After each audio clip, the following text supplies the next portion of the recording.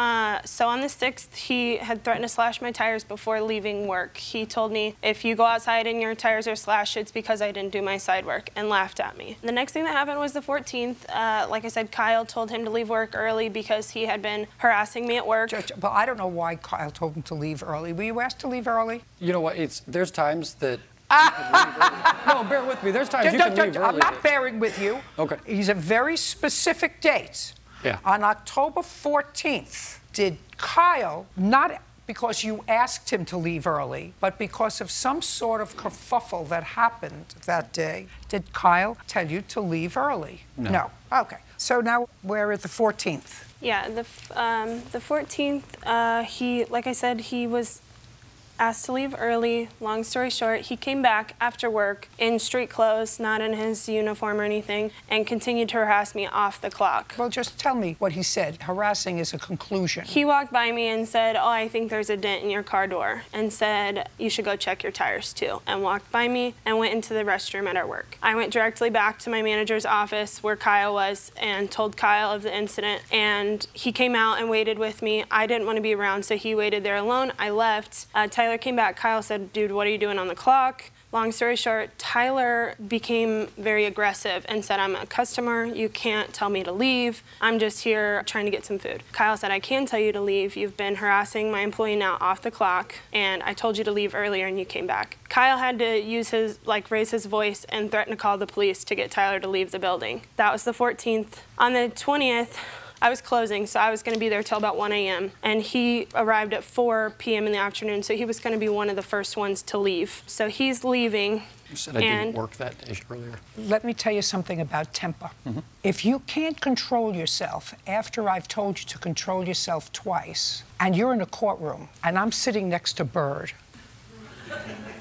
then the possibility of being able to conjure up in my mind you're losing your temper and harassing her has just been elevated. Do you understand what I'm saying to you? Yes, ma'am. Good.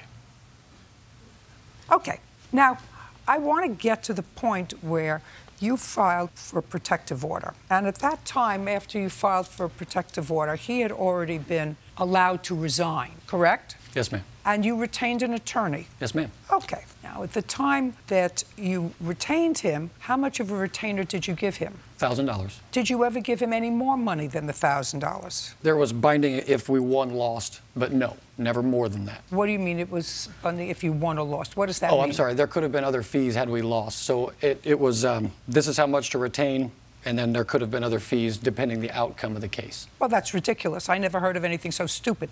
This is not a case that involves getting you money. This is a civil proceeding that either ends after a trial or a consent judgment or a consent termination of the case. So $1,000 was for what? Retaining and representation. On the protective order? Yes, On the for that. protective order? Yes. Now, did you also discuss with him representing you in a wrongful termination case or, a, as you say, deformation case? Um, did you discuss it with him? Against the defendant here, not my employer. Um, I have this is him threatening to sue me and Buffalo Wild Wings.